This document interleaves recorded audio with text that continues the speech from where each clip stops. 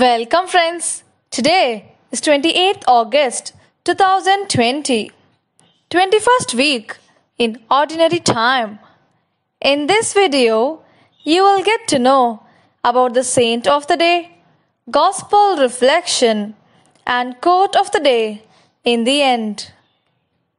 Saint of the Day Saint Augustine, Bishop and Doctor. He was born on 13th November 354. Saint Augustine's father was a pagan, his mother, Monica, a devout Christian. He received a good Christian education as a law student in Carthage. However, he gave himself to all kinds of excesses and finally joined the Manichaean sect. He was converted and baptized by Saint Ambrose.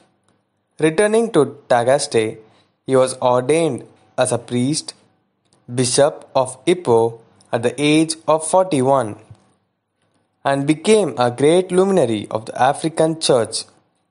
He is one of the four great founders of religious orders and a doctor of the Universal Church. He died on 28th August aged 75. Gospel reflection is from Matthew chapter 25, verses 1 to 13. Drowsy. There is such a thing as feeling drowsy and feeling asleep in the spiritual life. There's no reference to the time when we nod during our time of prayer. It is more a symptom that overtakes us when we have waited and waited and the Lord does not seem to come. We end up bored and give up waiting for Him. That is just when the Lord decides to come. The spiritual life, like prayer, is basically a waiting on the Lord.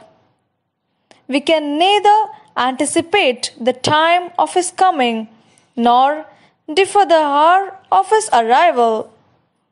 That he will come is as certain as the dawn. We need to wait for him. Waiting is not passive, it is active watchfulness. In this lies real wisdom. During our baptism, we have been given the light and have become the sons and daughters of light. Therefore, it is our responsibility to keep this light and enter into the God's wedding banquet. Let us all reflect and pray together. How convinced and prepared are we to receive Jesus and proclaim the gospel? Are we faithful to Christ? Today, we pray that we may give priority to preaching the gospel. Amen. Quote of the day Create your identity in such a way where people surely realize that ignoring or leaving you is only their loss. Live with uniqueness and dignity. Have a wonderful day, dear friends.